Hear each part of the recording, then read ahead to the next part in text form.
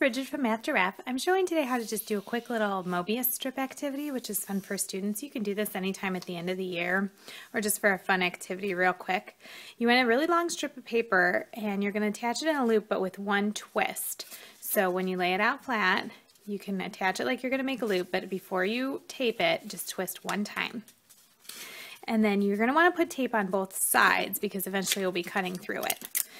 So attach along the side like this and then the other side.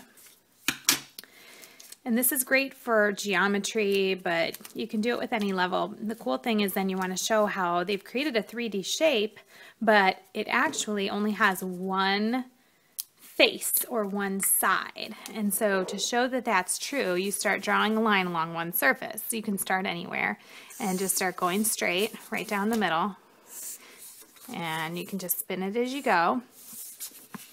And draw a line. You keep drawing only on one face, one side of the figure, and it'll keep going and keep going.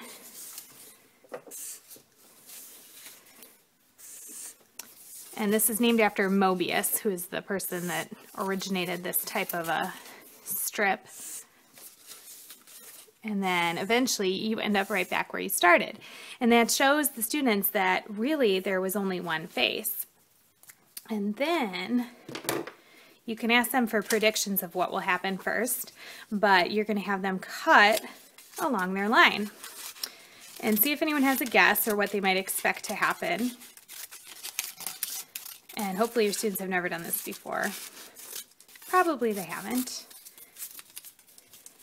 And as they finish cutting all the way through,